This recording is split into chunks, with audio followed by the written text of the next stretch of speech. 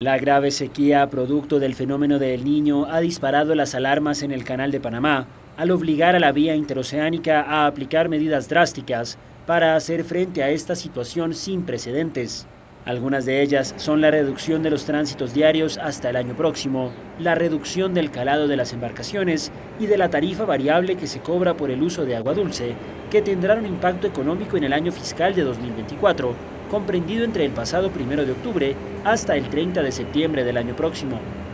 Uno de los efectos directos ha sido el embotellamiento para entrar al canal, con hasta 160 naves en espera, principalmente buques sin reserva, es decir, sin un cruce programado, que en su gran mayoría son graneleros, gaseros y quimiqueros, entre otros. El Canal de Panamá ha reducido gradualmente el número de tránsitos diarios este 2023 hasta llegar a 31 buques en noviembre y se espera que en febrero próximo crucen 18 buques según las previsiones. El supervisor hidrólogo del canal, Nelson Guerra, habló de la situación. Venimos con un tema de déficit hídrico en este año, donde este año 2023, con respecto a la lluvia, en el periodo primero de enero al 5 de diciembre,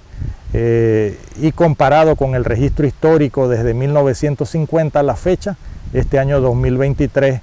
eh, está hasta el momento con, el tercer lugar el, como el año de menos lluvia o más seco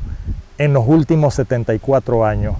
El Canal de Panamá podría dejar de percibir en sus ingresos alrededor de 200 millones de dólares en 2024 debido a la reducción de tránsitos diarios que se ha visto obligado a implementar por la sequía, según dijo en agosto su administrador Ricaurte Vázquez. La vía anunció en septiembre como compensación una reducción de cerca del 50% en la tarifa variable que cobra por usar agua dulce debido a las escasas lluvias este año en Panamá, país que solo tiene dos temporadas, seca y lluviosa.